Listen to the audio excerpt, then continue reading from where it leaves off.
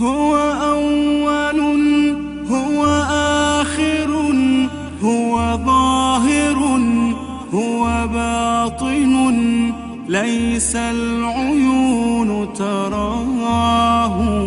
سل عنه ذرات الوجود فإنها تدعوه معبودا لها.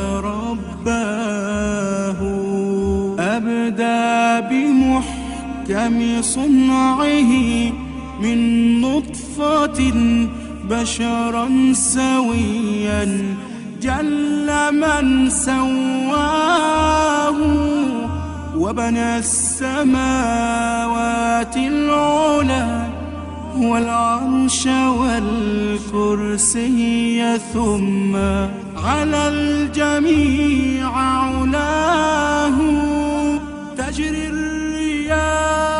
على اختلاف هبوبها عن إذنه والفلك والأمواه يا ذا الجلال وذا الجمال وذا الكرم يا منعما عم الأنام نداه